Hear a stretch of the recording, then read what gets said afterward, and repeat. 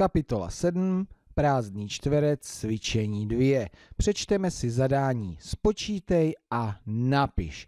Budeme počítat pyramidy, ale děravé pyramidy. Musíme na volná pole, na volné cihly dát číslo z tohoto výběru. Tak to zkusíme. Když dám sem čtyřku, patří sem 4 a 1 rovná se 5, tak to ne.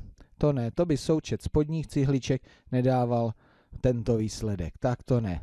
Dám tam druhé, číslo 2 a 1 rovná se 3. Správně. Takhle, to tam patří, to znamená, že tahle bude patřit sem a zkontrolujeme to. 1 a 3 rovná se 4. Výborně. Tak, druhá.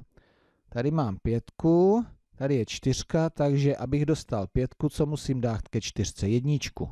1 a 4 rovná se 5. Čili dvojka patří sem, zkontrolujeme z vrchu, 2 a 5 rovná se 7 a tady 1 a 1 rovná se 2 také.